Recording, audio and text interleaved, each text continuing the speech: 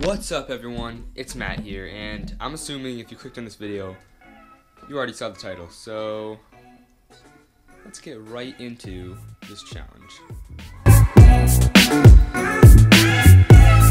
Okay guys, so let's first get into this challenge. We have a couple rules. I'm probably gonna make it up as we go, but it should be a really, really fun challenge. So um, we're gonna look in my junk drawers right there and my junk drawer down there with all these reels. Let me just show you guys real quick. Literally filled with crappy old reels that I've, I've collected. I've collected since I was younger, and um, you know, I got some crappy reels in there, and I got some crappy and weird poles over there. So um, guys, this should be really fun. Basically, I'm gonna make a combo. Sorry if this is loud. Just pulling the tripod. I'm gonna make a combo, guys, and I'm gonna try and catch the biggest fish I can on that combo. Um, so basically, I'm gonna make a combo out of this crap stuff, and I'm going to find. I don't know. I'm just gonna make this up. A couple different lures. I'm gonna see if I can catch a big fish in any of the lures. I'm gonna have two challenges. I'm gonna try and catch a giant fish, something over three pounds, in the north in the fall. It's a pretty big fish. And um, number two is try to catch a fish in every single lure I pick out. So guys, let's get right into this and let's start off with the reels. Okay guys, so I'm trying to make the lighting not so glary by sticking it near the wall. Actually, that doesn't look too good. I'll just put it there. It's not that bad, is it guys?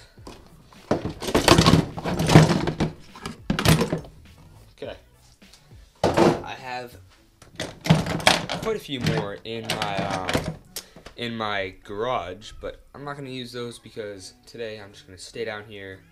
I have way more than enough down here, and I have two in my drawer right over here, but they're both bad, so I'm not even gonna take them out. Okay, so let's show you guys what I got. I got this crappy fish, classic fish bones. Oh my god, the lighting, guys. Garbage, garbage, garbage. I'm so sorry. But um, yeah, this classic fish bones.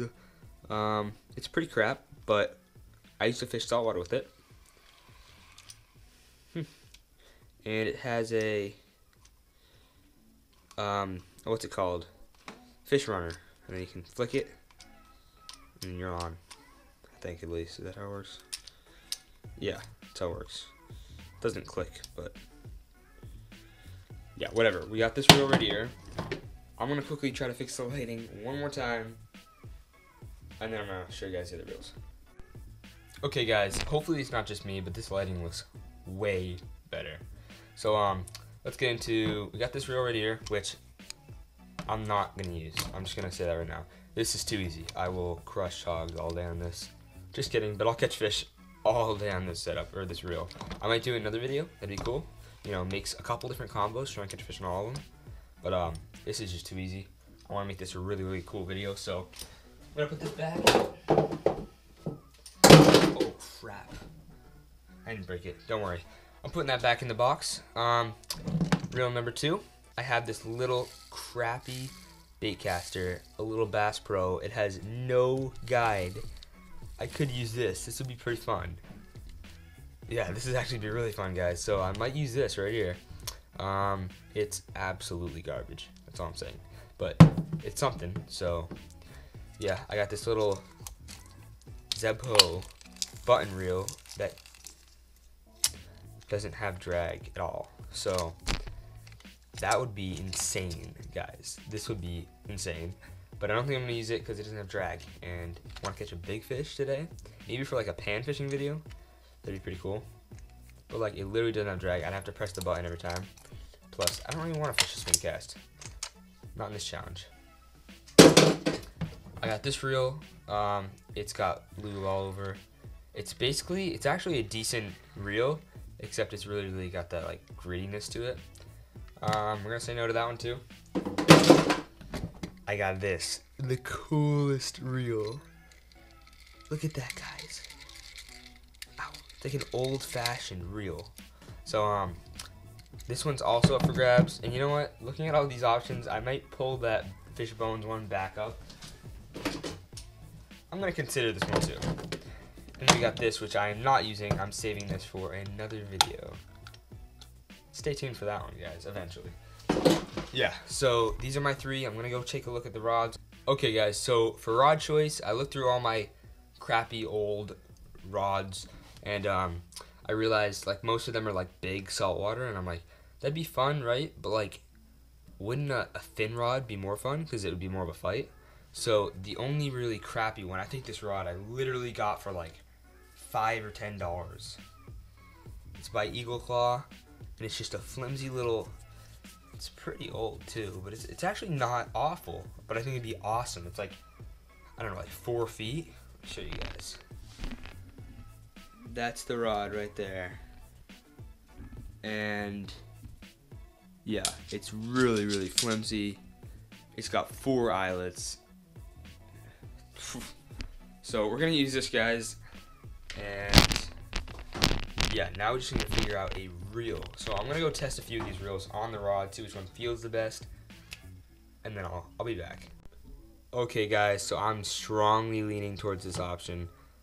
It looks sick. It's so short and it feels so weird, and it would be so much fun to fish. So I'm strongly leaning towards this. I'm gonna go try them both, but just want to show you. It's on pretty good. So, okay, guys. So this reel is basically useless when it comes to casting. So I'm gonna save this reel for maybe like a cool like catfish type video. That'd be awesome. Maybe a bass video. That'd be that'd be sick also. But um, not this time. This time I am so feeling this reel. It is. It doesn't even have the the um the guide thingy. So I'm gonna have to like manually do it once in a while. I don't care. It's gonna be awesome. Let me set it up. I'm gonna put some line on it and yeah, let's get some lures. Okay guys, so I'm using a really uh, versatile line, which is monofilament. Uh, in my opinion, monofilament is the most versatile. It is not the best for all circumstances, definitely not, but it's the most versatile. You can throw, it floats, you can throw top waters, you can throw sinking baits, you can throw everything that's stretched, so you can throw um, crankbaits if you need to, a jig even if, if you have to. Um, and I'm using this really crappy seven seven dollar. So it's like it's it's it's in. It's not like I'm using like pristine line for a crappy combo. Crappy line, crappy combo. It's 12 pounds, so it's like in between.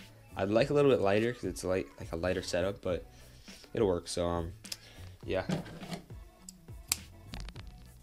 Let's find some baits. We got a lot of choices, guys. Okay, so guys, to make this challenge pretty fun, I'm gonna only limit it to this one drawer. Um, I have lures scattered everywhere, but this is where I kind of just throw whatever. I have some good lures in here that I can't fit in my tackle box, which I'm not gonna use. Like I'd be able to crush a pig on this, but um, um, like a lure like this, this is broken. You might be like, wow, this is like a, you know, nice lure, nice Rapala jerkbait. Um, yeah, it's cracked. It leaks. You can catch fish on it, but it'll be tough. And I'm not going to use this either because I think I'll catch a fish on it. But I am really looking at these spinner baits. These crappy garbage spinner baits. So these are definitely a choice, but um Oh, it's tough, guys. It's tough. Let me just show you some of these baits. I got this jerk bait right here It's got rusty hooks and it's a little small, but it could work. I got this crankbait right here. Okay, guys, you know what? This crankbait, I am definitely taking this crankbait. Um, if you guys don't know this brand, it looks nice. It's really not the best crankbait. You can get a three pack of these for like four dollars, and you can just tell like the quality is garbage. But I'm gonna use this as one of my three baits. That's gonna be there because a crankbait. Why not? And like this is just too light. I'm not gonna be able to throw anything on a short pole and 12 pound test. Um, I do have some soft plastics, so I definitely want to go with some soft plastics. You know what? I'm gonna make this interesting, guys, because I could get a pack of triggers and I could trim one down to go on maybe a little jig or a jig head. Oh crap! But I just found these lizards. They look sick, and I don't get to fish lizards often, so I'm gonna do one of my baits is gonna be these lizards, one of these lizards, And let's find some type of setup to fish them on. Oh my god, guys, we just hit the jackpot. I got a bobber stop. I got a jig head. I mean, um, a bullet weight, and I got a hook. That's in with that other hook. See if I can find anything else. Um, I'm debating whether that I can use. I should use this lipless crankbait, or maybe this tiny swim bait. Hmm. Got a swim bait right there. Could set up a spinner bait setup right here. Fish a spinner bait. That could be interesting. You know what? We're gonna do that, guys. Oh my gosh, this swim bait is destroyed. But that's gonna be our spinner bait. I don't think that'll look too bad in the water. So that's our third bait. And guys, I'm gonna get rid of this. I'm doing it. I'm doing it for the boys, guys. But I'm bringing in this crankbait. Much crappier. Much older. Here we go, guys. Three different baits. This video is gonna be about 4,000 minutes long, but hopefully I can crop a lot out. Um, I also just found this skirt in here, so I have this skirt just in case that shad falls off. And yeah, guys, I will see you at the pond. Actually, we gotta figure out what we're tying on first. Okay, um, what we're tying on first. 100% one of these. I'm so excited. I want to fish that so bad. So yeah, guys, I'm gonna tie it on. I'll show you what it looks like. Okay, so guys, here's the finished rig. Um, I'm done and I'm dumb and realized that I can't use a bobber stop, so I'm going to use a little tiny one of these. I have so many of these in here. These little um, uh, what are they called? Split shots. Split shot that there, just so it doesn't wobble around. I mean, some people like it to wobble a little for clacking. I don't really care right now. I mean, I don't need clacking. Um, the one problem, guys, it's really light. But yeah, it should work. There's like a space for a rattle there. Um, I don't know. It looks really, really good. The plastic's super, super soft. These look actually really good. So, um, yeah, guys, I'm also bringing this just as a backup. And I'll see you in the water. Three, two, one.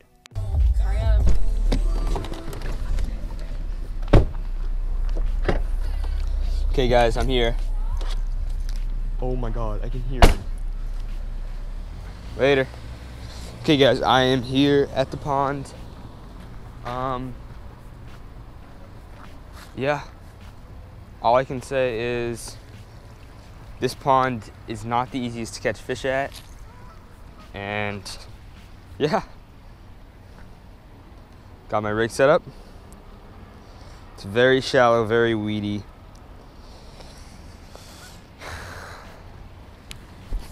Oh my. okay, guys, uh, let's catch a fish.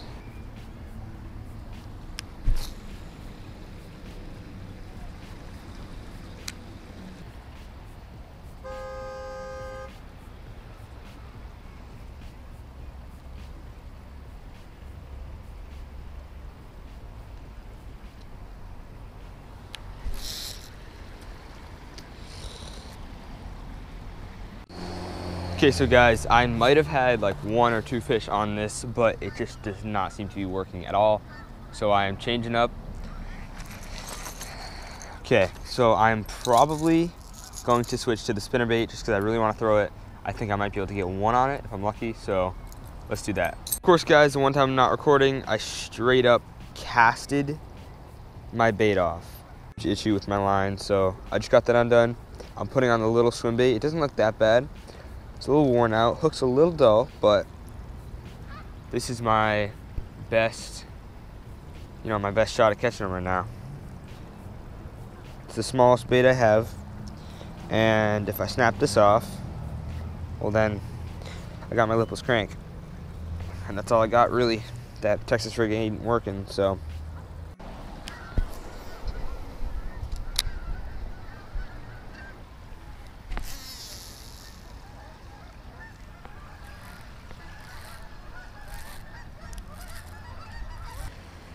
Okay, guys, I'm really done with this not recording thing because I just had my first fish on and I just freaked out losing it because it spit the hook.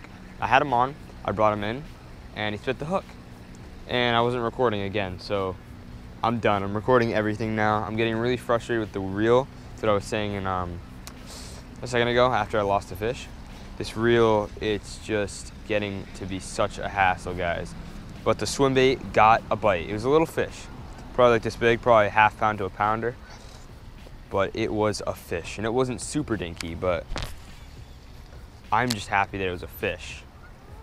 And he was on until like right next to me, or not right next to me, but it was close. He came off. Oh my God. Could have either been a big sunfish, I think that was, or it was weeds. I think it was a bass.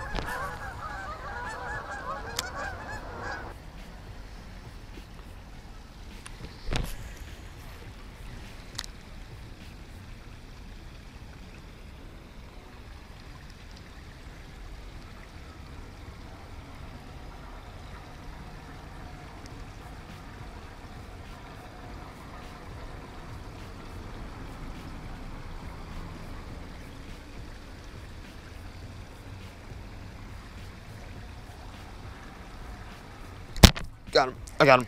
Guys, it's a stud. It's a nice one.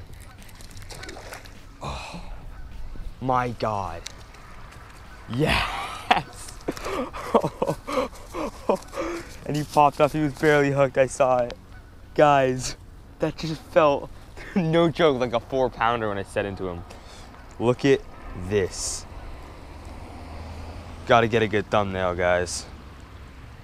I have got to get a good thumbnail. Holy cow, he's probably a half of a pound bass, guys.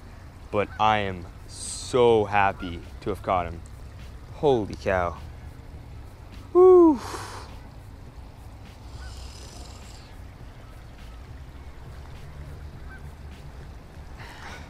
With the little fall tree. Should be sick, guys. Hopefully. Okay. Whew. On the little swim bait, guys. Nice little bass. He is so cold. Oh my God, since this pond's so shallow, that's probably why they're so finicky. It's because they're already into the, like the winter feeding pattern. Like he is cold, cold. So there he is, nice little guy. Felt like a four pounder when I set the hook into him. That's ridiculous. That was insane. But um, yeah guys, that's fish number one. I still got a little bit more time that was like my second cast doing the lift and drop retrieve, so maybe that's the secret. Let's get another one. Okay, guys.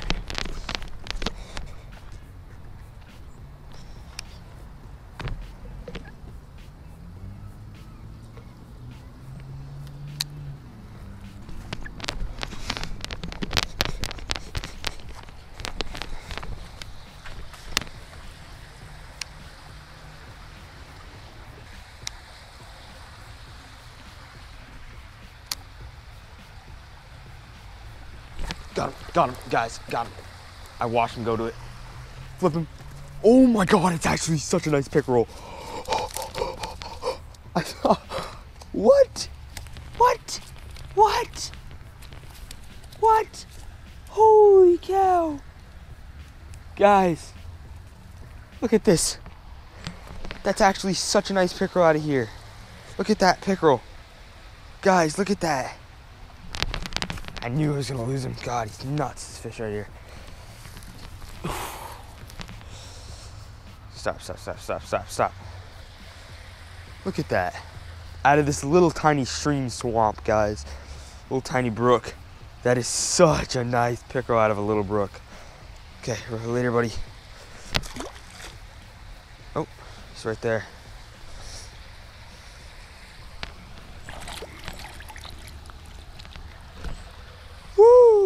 Oh, oh, there he. Goes. Okay, let's get another one, guys. Okay, guys, I just wrapped it up, and that is going to be the challenge. I caught one decent bass, maybe like half pounder, and one maybe half pound pickerel. You know, it was pretty good, pretty successful. Really, really hard, guys. The water was freezing. But um, yeah, I lost another nice bass too. But yeah, I'm gonna do another one of these challenges very, very soon. It's gonna be awesome. I'm gonna use that other reel. Stay tuned for that. And yeah, guys, I'll see you in the next video. Bye.